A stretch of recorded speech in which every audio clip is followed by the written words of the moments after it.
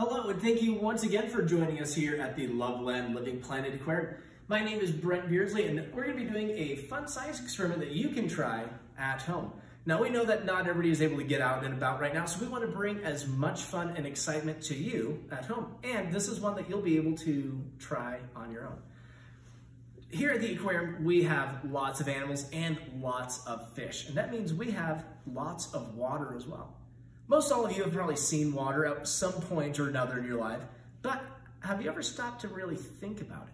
For example, if I were to ask you right now, is water sticky? What do you think? If you think water is sticky, raise your hand right now. If you think water is not sticky, go ahead and raise your hand. If you're not sure and you want to raise your hand to fit in, go ahead and raise your hand right now. All right, so we've asked a question, now we need to do an experiment. If we take a look at my finger right now, does not have any water, but if I put it in the water, what do we see sticking to my finger? A drop of water.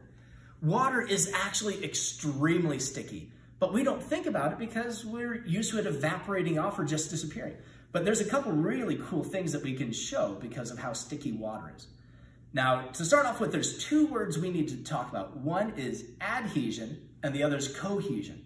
Those are just really big fancy ways of saying water loves to stick together with itself, its friends, cohesion, and it loves to stick and hold on to other things, adhesion. So we're gonna start off, we've got a jar here. If I fill it with water and dump it sideways, what do you think is going to happen? Most of you probably said it's going to spill and fall out. So let's see what happens. You're right, it does. But if we put a lid on it and then turn it upside down, what do you think will happen? Yeah, you're right. It's going to stay in because there's a lid. And as soon as I let go of the lid, what happens? It falls? Not quite. This lid is staying in place because of two things. One, the water is holding onto the lid because water is sticky. We also have air pressure helping push up, trying to get in there, which holds it in place as well. I can even tap on it a little bit and it stays. But if I hit too hard, it starts to leak and falls out. So this is this fun, easy one you can do at home. Have a floating lid and floating water there. Let's change it up a little bit. Here, we added a screen. Now, do you guys think that a screen holds water? Well, let's see. If we dump it right here, didn't hold that water. The water went right through. So if we turn it upside down and let go of the lid, what'll happen?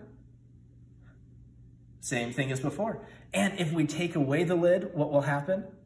Same as before? Not quite. You can see that the water is actually being held up by the screen. Now it's happening because water is sticky and it's sticking and holding onto the wire and it's sticking and holding onto itself to make a little layer, just like a lid.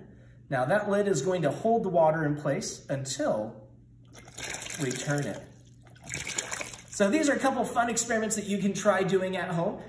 Experiment around, see what water is sticky and what you can do with water as well.